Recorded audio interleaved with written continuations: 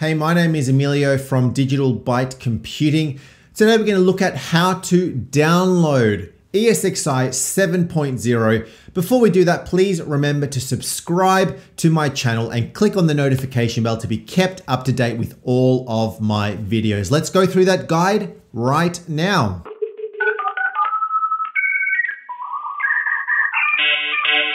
So let's go through uh, 7.0 of ESXi. This is uh, a new release, well, recent release anyway. Uh, awesome. Uh, got a lot of extra good features and uh, benefits and functions than the previous 6.7 and 6.5 of ESXi. We're going to go through the steps on how to download it. It's completely free, which is excellent. In my description, in the bottom of my video, I have the URL on how to actually go and download ESXi 7.0. So we're going to go through that guide today. But as I said, it's completely free. And the great thing about VMware is uh, it acts as a hypervisor. Essentially, it's a, a operating system that allows you to install multiple servers and virtual machines within one physical host. So it's a really, really cool tool. And if you've never used it, this is the guide on how to download it. And um, we're gonna go through that step today. So let's now log into my computer and we're gonna go through the steps on how to do that. So here we are logged into our computer. We're doing this from a Mac. You can do this from a Windows PC, uh, doesn't really matter.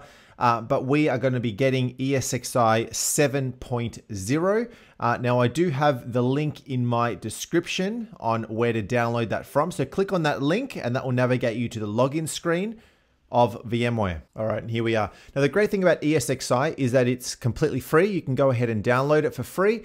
So from here, we're going to scroll down to the bottom to personal desktop and we're going to click on that and then we select vSphere v, uh, Hypervisor 64-bit. Okay, so this is the hypervisor, which is ESXi. So let's just go ahead and click on there. Now what you're going to need to do is you need to log in. So you need to go ahead and uh, register for an account if you don't already have a VMware account. If you do, you can log in or you can go and create an account yourself, uh, put in your first name, your last name, your email address, and then continue. And then you'll be registered to be able to go and download the hypervisor. But I already have an account, so I'm just going to throw in my username and my password and log in. Now, once you've logged in, uh, you will uh, have to register to be able to get the hypervisor 7.0. So I've already registered, which means it says thank you, register. Otherwise, there'll be a button here to say uh, for you to register. So you need to essentially say, yes, I've got a login, but I want to now register to get hypervisor 7.0.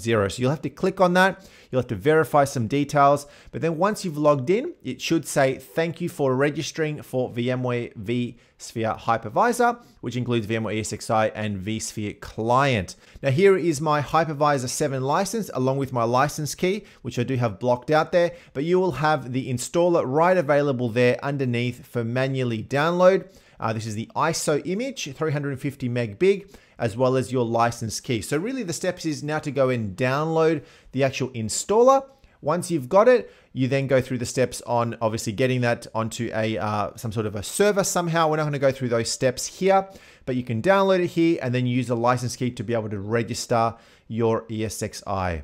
So there you have it, simple, simple guide on how to download ESXi 7.0. Hopefully you were able to do it. And then your next step is then to obviously go and install it. But that's it for now.